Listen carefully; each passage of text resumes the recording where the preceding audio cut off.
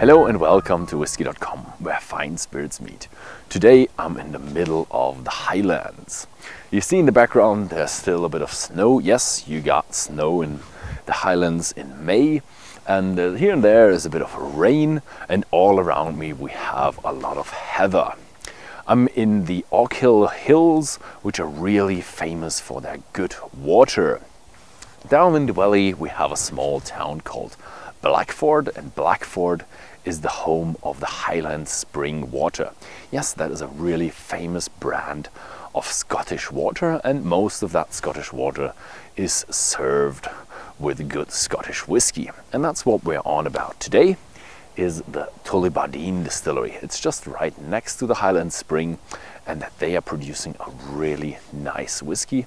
Let's have a look how that whiskey is made.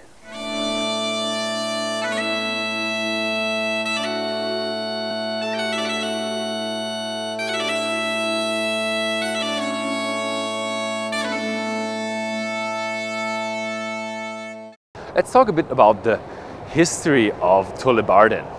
Tullibardine was first written down in 1488 by King James IV. But you might think, did they have distilling back in 1488? No, they didn't. It was a beer brewery back then. So they did brew beer here at Tullibardine back in 1488 and King James was really fond of that beer so they he gave the brewery a royal charter back in 1503 and uh, this was a really a high honor for the brewery. Let's move to the 20th century. In 1947 they actually reconstructed the brewery and now they were the Tullibardine distillery. They finished the work in 1949 and uh, started the production back then. Unfortunately, they ran in a bit of a trouble in 1993, so they had to close down and they got mothballed, so no production, only the warehouse was kept um, in good condition. And they did that until 2003 and they got sold to four Scotsmen in 2003 and they reopened the distillery and got it up and running. In 2011, they got sold to a French wine distillery called Picard. And these guys really invested into the company, they developed the company. And back in the days in 2014, the, the building behind me was actually a big supermarket called Baxter. Uh, but the guys at Baxter, they did a bit of a miscalculation. They calculated 10 buses per day, but nah, they didn't arrive with 10 buses. So they went pretty much bankrupt. And so the distillery saw that chance and bought the building. And now they have a beautiful big building. And they don't do the distilling in the building, they do like storing all their bottles and their bottling line and a bit of warehousing as well and all the other stuff that is not like the main ingredient for making whiskey. So yeah, this was about the, the history of the distillery and now let's have a look at their production. These are the typical highlands. You have the wind, you have the grass, you have the Ochil Hills in the background and the Danny Burn is flowing right through these grasslands. The, the hills have the springs with the water and the Danny Burn flows through the, the fields and they're actually not um, commercial fields, so there is no farming, there is no livestock, they're just grasslands and that's why the quality of the water is so high that the Tullibardine uh, distillery can take the water directly from the burn and use it in their whiskey production. The water has such a high quality from the Ochil Hills that uh, there are a lot of boreholes here on the foot of the hills and they use it for the famous Highland spring water. It's the, one of the most famous waters from Scotland and is sold all around the world. Tullibardine tries to use regional malt. And the problem with regional malt is that different fields grow different in speed and different in quality and different ingredient. And depending on how likely the malt is uh, turning into dough, you have to adjust the malt mill. The malt mill is a pro-choice malt mill an old roller pin malt mill, two-stage process with four roller pills, uh, roller mills, and you can adjust the distance between the pins, and that affects the coarseness of the grist. And here we have the malt, which is the before, and then we have the grist. The grist is made of three substances. You have the husks, you have the, the grits, and you have the flour. And the ratio between the flour and the grits is really important because if you have a, a malt that is tending to form a dough and you have too much flour, you end up with a dough. So what the people here do is they use this uh, little quality tool, the, the box. You fill in your grists, you close the box, you shake it, and then it filters it to your husks, grits, and at the bottom you have the flour. And then you weigh all the individual parts and then you look what you need to get the perfect stuff for the mash tun. Today they have a malt that is actually forming doughs pretty easily. So they're going down to 5 6% flour, so they're going really, really coarse just now. This here is the mash tun. It's quite big mash tun. It uses 6 tons of grist and um, you do the washings with 24,000 liters, 11,000 liters and 20,000 liters. The third run of the mashing is so low on sugar that they can't use it for the whiskey production and they just recycle it and use it in the next batch, batch so you don't lose any of the good sugars.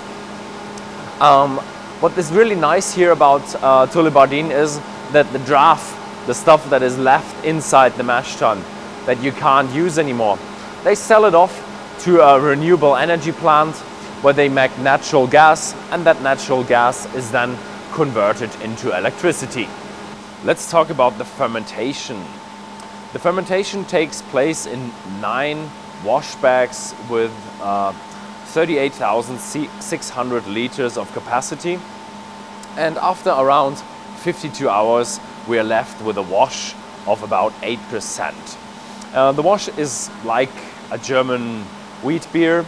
Uh, it's not as bitter because you don't have any hops.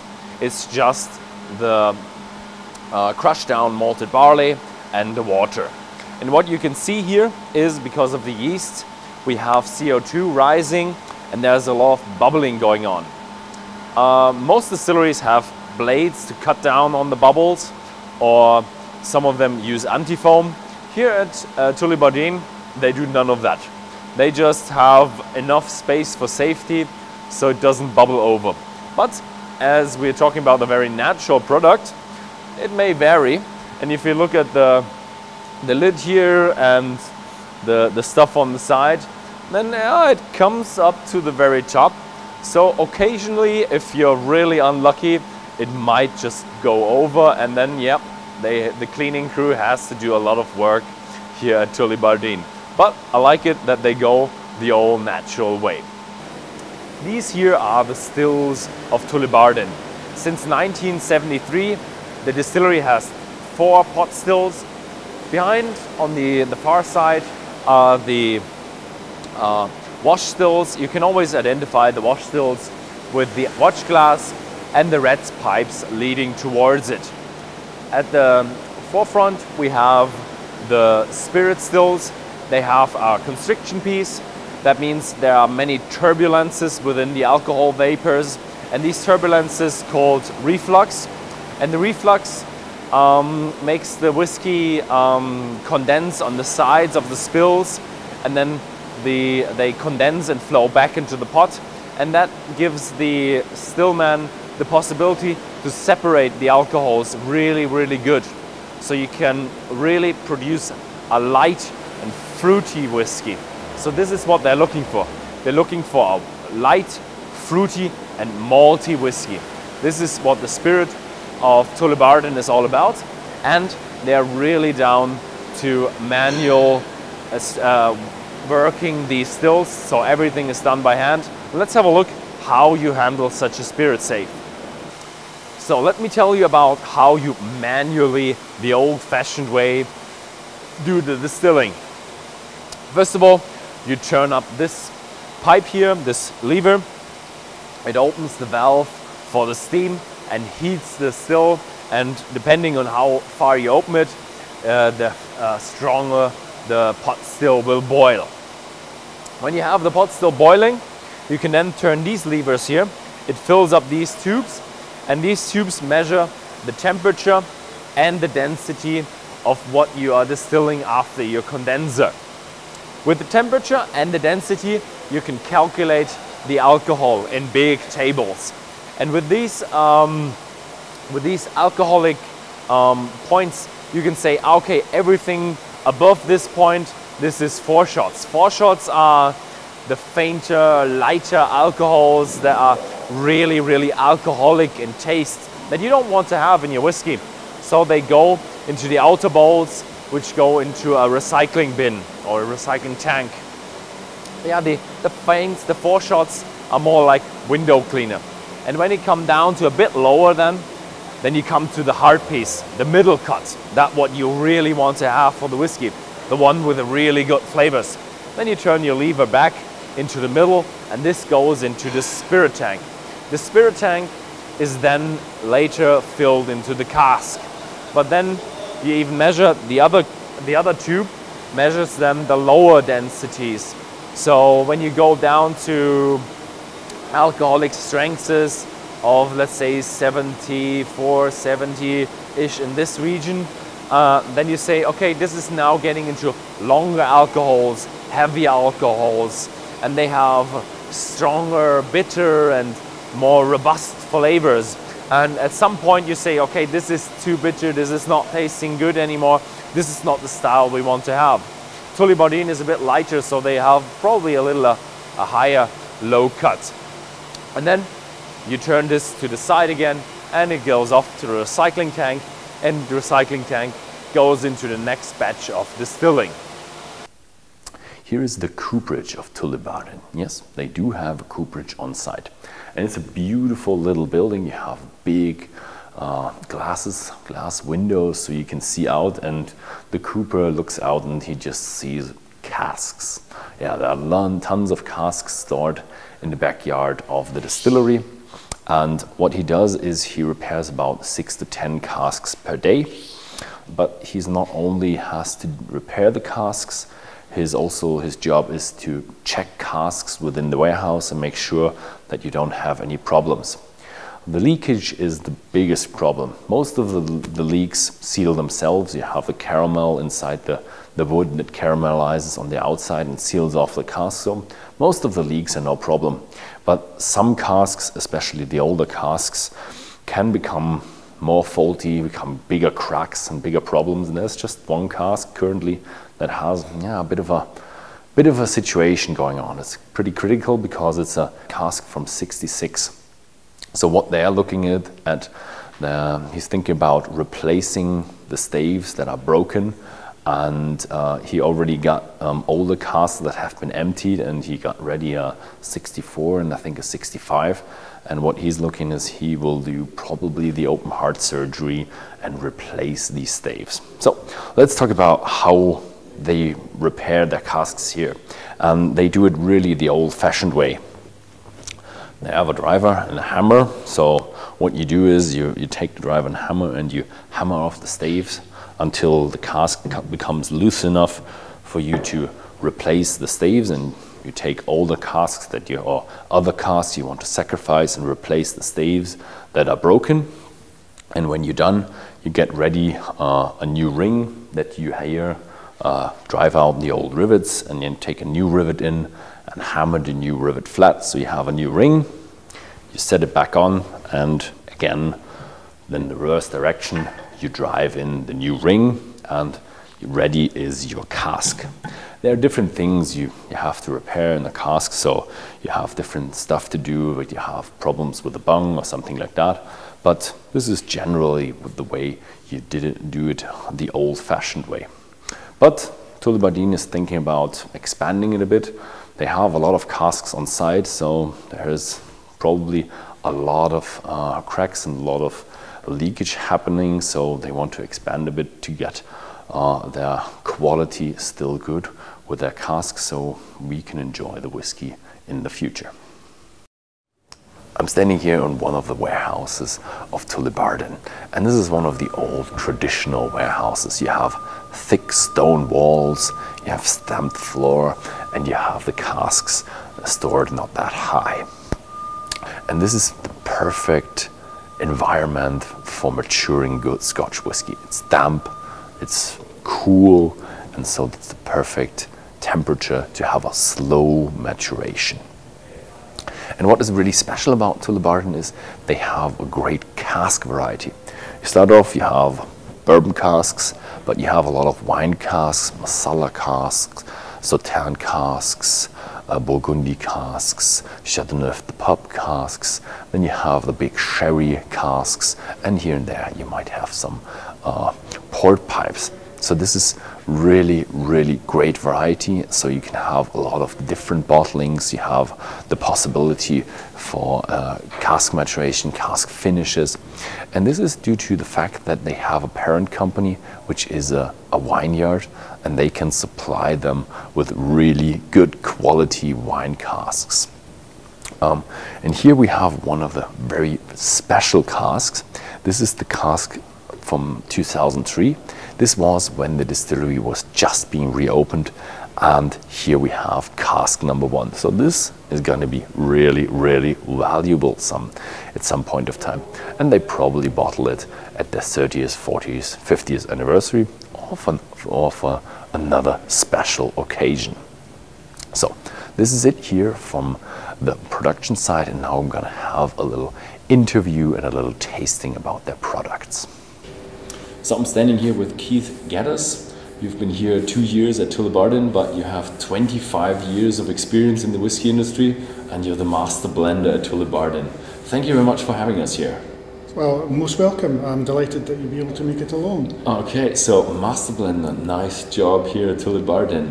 Um, I'm really excited about the expressions I had to see how it's being made. What are we having today? So today I thought we'd uh, sample, uh, um, nose and taste uh, the Tullibardine core range. Mm-hmm. And I think to start off with, what we'd like to try is the Tullibardine Sovereign. So if you'd like to pass a couple of glasses, I'll just pour you a wee shot.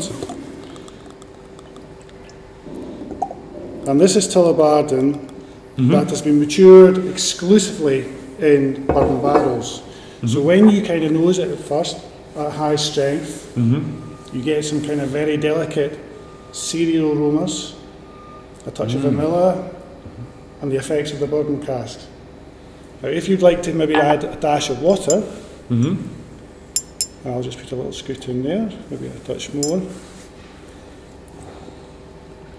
Uh, yeah, I do like it. That you got yeah. the, you got like a, a little bit of like it reminds me a bit of breakfast. Yes. Like with the cereals and that. Mm. But like one of these one of these healthy breakfasts. Yes. but then in addition of the water, what you're getting is the effect of the, the maturation in the bourbon barrels. And a bit more fruitiness as well. Exactly, exactly. Mm. But you're getting a touch more vanilla as well, and a touch more kind of coconut aromas uh, mm. and flavours once you try and taste it. it reminds me a bit of, I've been around all your production, it reminds me a bit of your your early early wash. Okay. Mm-hmm. Okay. There's a bit of a, that that fruitiness in there. Okay, yes. not not that that you know that yeastiness. Yes. yes. No. It no. has a bit of a touch in there. Like but it. it. but it's very light, very delicate, and we find it actually an excellent uh, spirit to use in cocktails. We we mm-hmm. we have been working in conjunction with a lot of bartenders mm-hmm. in Edinburgh, for example, who have been using this as a base mm-hmm. of a lot of fantastic cocktails. Mm-hmm. Mm. So. Mm. I like it. Mm, I like it. It's, um, good. You, you feel the distillery character. Definitely. I had, I had a bit of your new make, make. You feel the distillery character. I love it. Absolutely. Mm-hmm. Absolutely. So, so you got to drive, huh? I have to drive. I have to drive. So, so you're gonna go with nosing. Yes, absolutely. Okay. Absolutely. So, yeah, as a master blender, I've had a look through your warehouse and tons of barrels. They're all different sizes and they're yes. all different types and all these wine casks and that kind of stuff. Uh, so the big variety does that make your job more difficult or more, more easy? How, how's that it, working? It can be challenging because if you, you, you take in a new type of cask or something that you haven't used before, you have to understand how the cask and during maturation interacts with the whiskey. But then once you know how it works and the kind of flavour profile that it develops during maturation, you can then use it to your benefit and then regard it as a tool in which it allows you to produce maybe a different expression, something a bit different that the consumer hasn't, you know, tried before in the mm range. Ah, I love it. So I love it. So we're gonna have one of these special. Absolutely, absolutely. So if I just put these two glasses down here beneath the bar, uh, the next one that we're going to try is the Sauterne finish.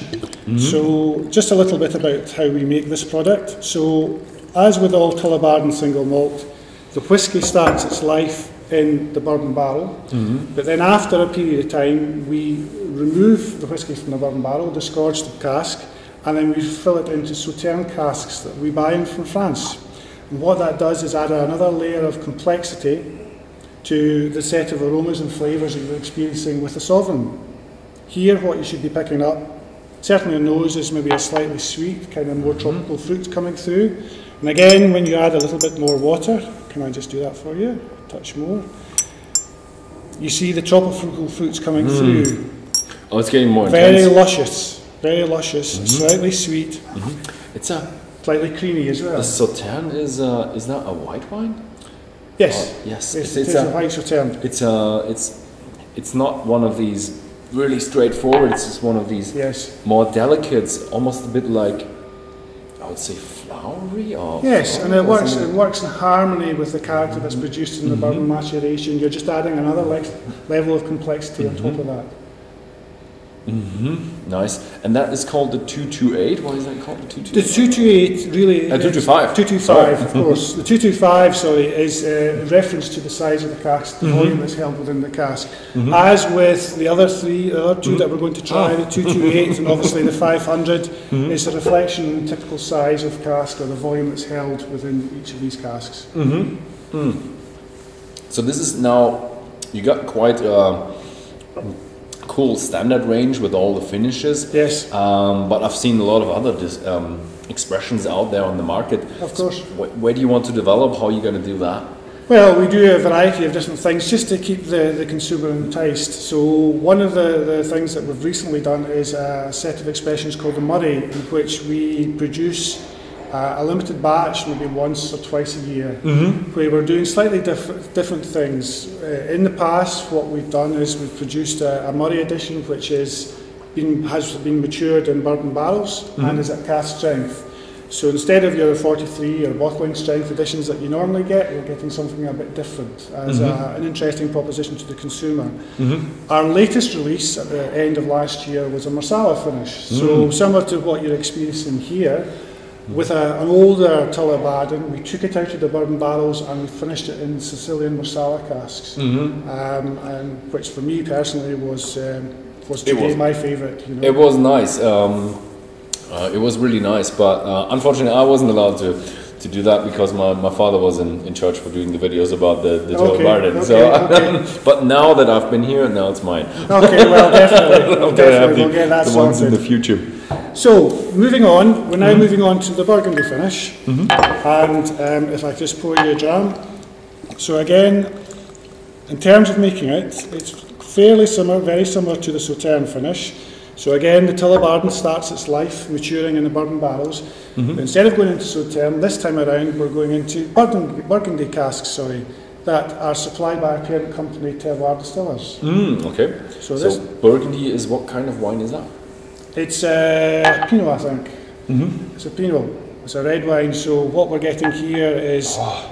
again, you're getting the initial hit from the bourbon barrels, but on top of this, another layer, maybe dark chocolate. I didn't get the bourbon barrel. I, I got the dark chocolate. The dark chocolate. You're getting the, the red cherries coming through. Maybe Turkish delight. That's a that's a deep one.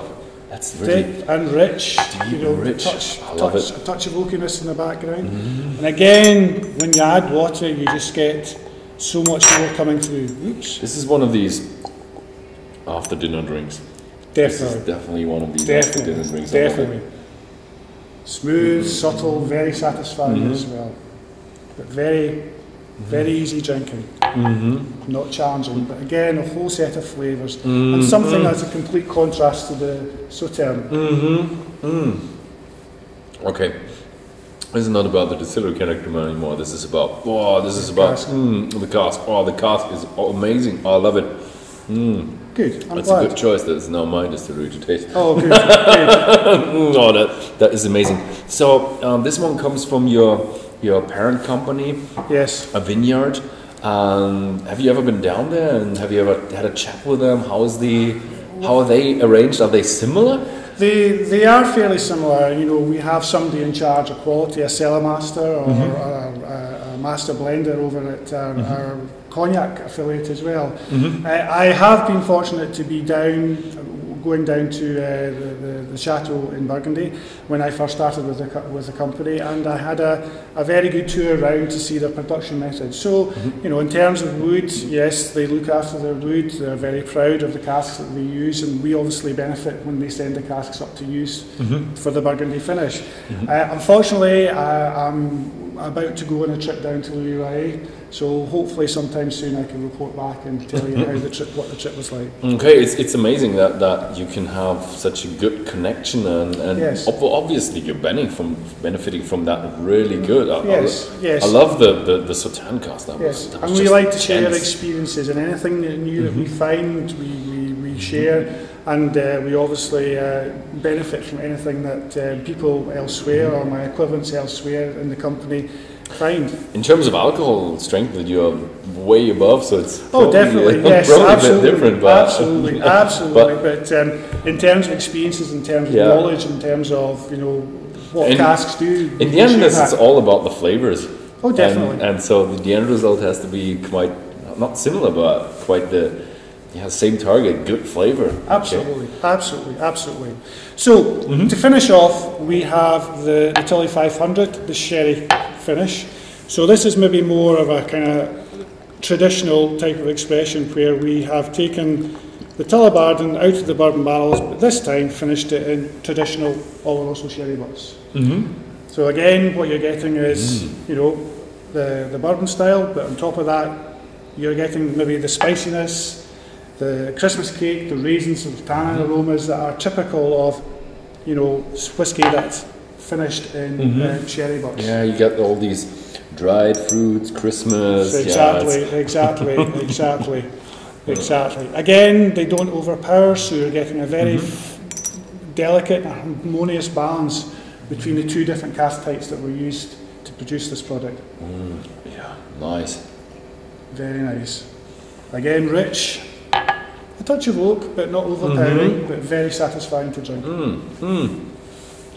And the texture is really nice here yes, as well. it just You have your the- tongue. Just, You have the flavor, but it's just a, the flavor comes in silky smooth, and I always love about that when you have something in your mouth, it's it's always about the texture as well. yes, Um, mm, oh, okay.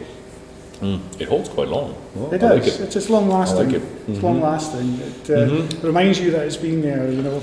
Yeah, but it's it's amazing that what I always find amazing about whiskey in general is that you have so much variety, and you can have so much variety even within one distillery, and Of course. even with, when you have the sovereign, it's it's light, and you have the the the the white wine you have it was just amazingly floral, and Uh-huh. you have the other one chocolatey. This one is like dried fruit candy, almost Exactly, like it's exactly. it's crazy how you can just one product like one Yes. product, one whiskey, and Yes. then you have so many expressions. And with Uh-huh. the Chateauneuf, the pub, uh, we had that one quite extensively in Yes, Germany, and yes. it's, it's amazing. Yes. I really do love that. So Yes. yeah, thank you very much for all the work you do here, and thank you very much for showing us around here. You're absolutely So, welcome. uh, thanks for, for doing all that. I'm delighted you could make it. okay, so thank you very much for watching this video. If you found this video interesting, then please give us a thumbs up and see you next time.